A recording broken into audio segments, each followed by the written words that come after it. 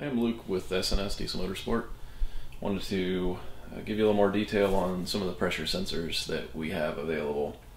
So we've always offered pressure sensors, but primarily in use for a lot of our race customers, competition type customers, to couple with our you know standalone electronic systems. Essentially, they need a lot of sensors for data logging and making proper decisions. So um, we have those sensors available for that for generally, like I say, it was it works really well in race applications, but it can work really well for lots of applications that um, need to be able to measure pressure accurately.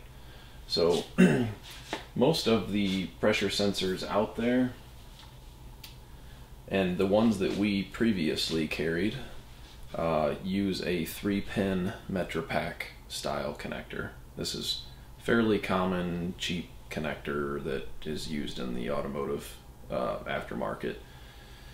The problem is these are not a very good connector in general. We would troubleshoot issues with customers uh, that would run into connection issues or intermittent readings. Um, the locker almost always comes off of them. The seals come out of them. They're just not a high quality connector that we would want to have with our with our systems. So we came up with a different design of pressure sensor, which uses a connector which we use widely throughout our standalone electronic systems, which is a three pin Deutsch style connector. Um, so these connectors are really, really good. Um, hardly ever have issues with them, assuming your crimps are good. Uh, it's a nice, good, positive, you know, snap connection, um, and these work really well. So instead of that other connector on there, these pressure sensors have um, this much, much better three pin rectangular Deutsch connector. So with our kits, you can also um, order it with a connector kit also. Typically on all of our stuff, we use these round style.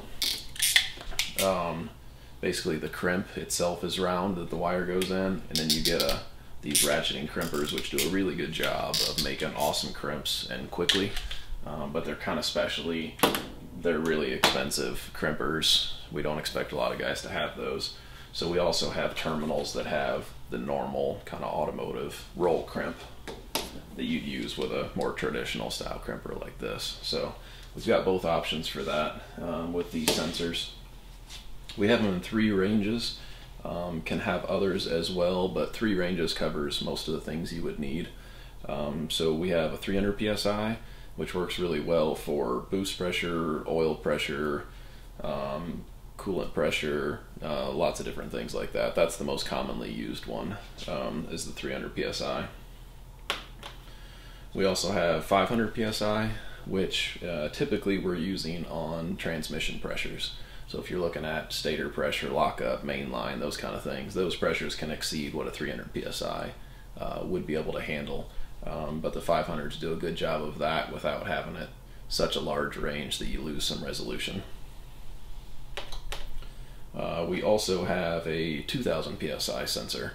Uh, this one typically is just used for nitrous. Uh, nitrous runs at you know obviously really high pressures, and so uh, the 2000 psi sensor works well for those nitrous systems. All of these sensors are set up with an eighth inch NPT, uh, eighth pipe type fitting uh, for the threaded end uh, that is um, pretty widely used. You know, you can, either your engine or piping or fittings are probably eighth inch NPT already, or if not, adapters are pretty widely available. So these are a great option for any kind of data logger systems, uh, anything you're needing to measure pressure. They're all 5 volt supply, so they're a 3 pin, a 5 volt supply a ground, and then a signal um, back to your data logger, ECU, whatever it is. So if you got any questions, let us know. Uh, that's a great product for anybody needing to be able to collect pressure accurately. Thanks.